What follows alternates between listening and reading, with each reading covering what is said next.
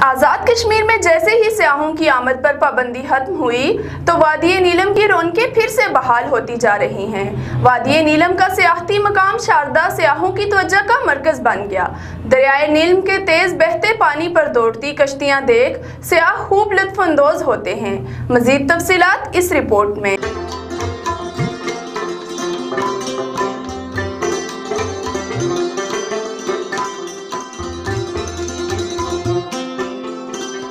आज़ाद कश्मीर में जैसे ही सियाहों की आमद पर पाबंदी खत्म हुई तो वादी नीलम की रौनकें फिर से बहाल होती जा रही हैं। वादी नीलम का सियाती मकाम शारदा सियाहों की तवज्जो का मरकज बन गया हमें अच्छे से अच्छे मनाजिर देखे जो यूरोप और अमेरिका में भी देखे हैं उससे मिलते जुलते हैं उससे कम नहीं है किसी भी हालत में। दरिया नीलम के तेज बहते पानी पर दौड़ती कश्तियाँ देखकर स्याह खूब लुत्फानंदोज हो रहे हैं। स्याहों का कहना है कि इस वादी को देखने के लिए हर किसी को यहाँ एक बार ज़रूर आना चाहिए। यहाँ का मौसम बहुत अच्छा है यहाँ पे बहुत ज़्यादा गर्मी भी नहीं है बहुत ज़्यादा ठंड भी नहीं है।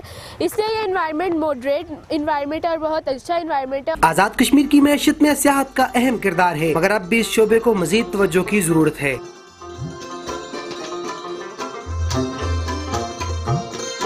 दुमेल न्यूज़ से फिल वक्त इतना ही। मजीद खबरों और अपडेट्स के लिए सब्सक्राइब कीजिए दुमेल न्यूज़ मुजफ्फराबाद आज़ाद कश्मीर।